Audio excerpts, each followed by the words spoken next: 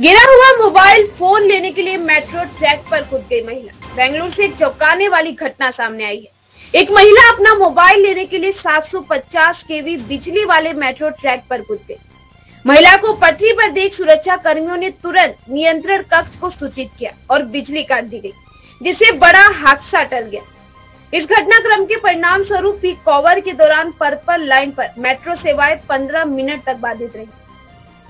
Bengaluru metro rail corporation limited ने ये कहा कि इंदिरा नगर मेट्रो स्टेशन पर हुई घटना में महिला का मोबाइल फ़ोन मेट्रो ट्रैक पर गिर गया।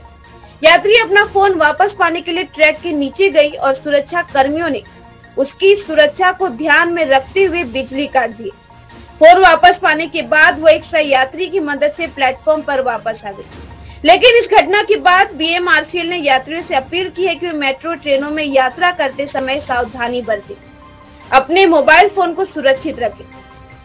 कंपनी ने यह भी कहा कि मेट्रो ट्रेनों में यात्रा करते समय मोबाइल फ़ोन का उपयोग खतरनाक है और इससे दुर्घटनाएँ हो सकती है।